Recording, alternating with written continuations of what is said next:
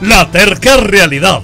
Faltan pocos días para tomarse las definiciones en torno a quienes habrán de participar en las precampañas para convertirse en candidatos. Y hoy es cuando los aspirantes comienzan a enfrentarse a esa terca, tan terca realidad que al final siempre se impone.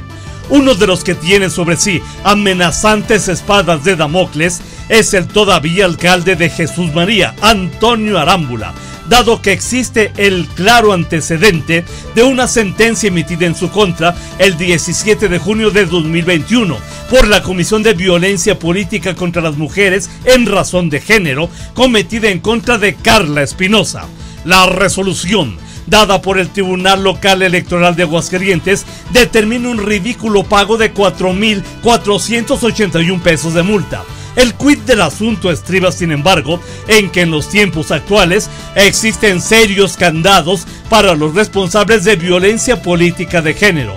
Ellos tienen vedada esa posibilidad.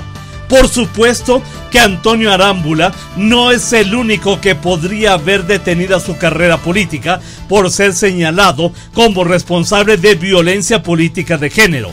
Otros casos están pendientes en el Congreso del Estado y en muchas áreas más.